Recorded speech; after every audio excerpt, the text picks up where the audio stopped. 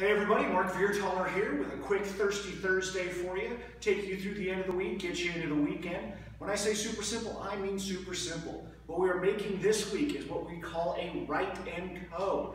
This is Boot Hill Prickly Ash Bitters and your favorite local beer. We do recommend an IPA. Uh, this is actually the Cataract Cowboy. This is a West Coast IPA made just down the street here at Dodge City Brewing. Of course, we're big believers in locals, so we recommend you choose what you like best. Uh, definitely recommend an IPA for this, though. So again, super simple. We're just going to go ahead and take the Prickly Ash Bitters, and we're going to do one ounce of the bitters into a pint glass.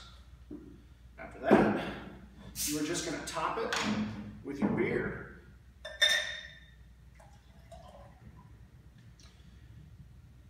Get a nice balance between kind of a rougher pour, but obviously you don't want too much head on that.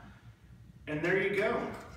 The carbonation inside of that beer is going to mix that prickly ash in. Again, we recommend the prickly ash with an IPA because you actually get two different types of bitters work really well together. The juicier, the more citrusy of an IPA, the better as well. These things are pretty intense flavor-wise though, so we only recommend doing one or two. Otherwise, you're just going to roast your palate for the rest of the day. Anyway, that's Mark Viertaler, Boot Hill Distillery here inside the tasting room with another Thirsty Thursday. Thanks and take care.